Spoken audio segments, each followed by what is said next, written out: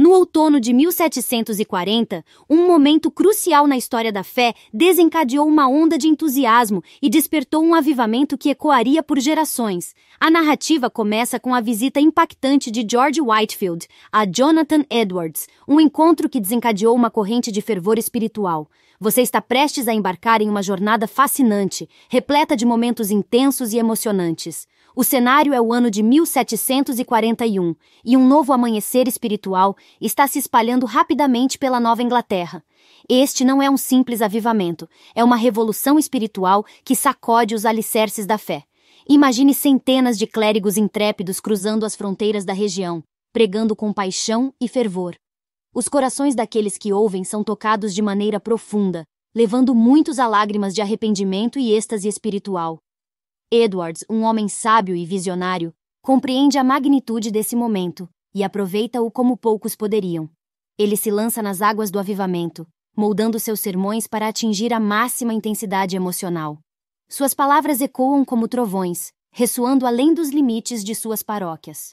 A história culmina em um dos episódios mais marcantes de sua vida, a histórica pregação de Pecadores nas mãos de um Deus irado, que ocorreu em Enfield, Connecticut, Imagine-se naquela vila pitoresca, no coração do verão de 1741.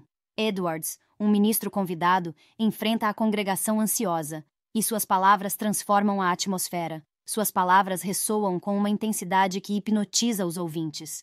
A cada palavra, você é transportado para o coração da mensagem, sentindo a urgência do momento. Nesse ponto, convido você a se envolver plenamente, deixando um like e compartilhando suas reflexões nos comentários abaixo. Essa jornada espiritual é nossa e juntos podemos enriquecê-la. Ao mergulhar ainda mais na história, você descobre que Edwards, apesar de sua voz fraca, conquista os ouvintes com sua clareza lógica e paixão espiritual. Seus gestos mínimos e contato visual esporádico são eclipsados pela força de suas palavras.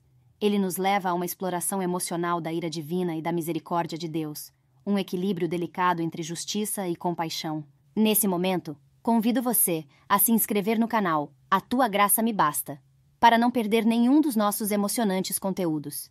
Compartilhe esta jornada espiritual com amigos e familiares, para que juntos possamos fortalecer nossa fé. A jornada culmina na famosa pregação de Pecadores nas mãos de um Deus irado, um sermão que atinge o cerne dos corações dos ouvintes. A tensão no ar é palpável quando as vozes ecoam, clamando por salvação. Edwards compartilha imagens arrebatadoras da ira divina e da oportunidade de redenção. Imagine-se lá, no meio da multidão, sentindo a urgência da escolha que cada pessoa deve fazer. Não perca o desfecho dessa narrativa poderosa. Continue assistindo para testemunhar as transformações e revelações que se desdobram diante de seus olhos. E antes de prosseguir, não se esqueça de deixar seu like comentar suas reflexões e se inscrever no canal A Tua Graça Me Basta para se conectar ainda mais com nossa comunidade de fé.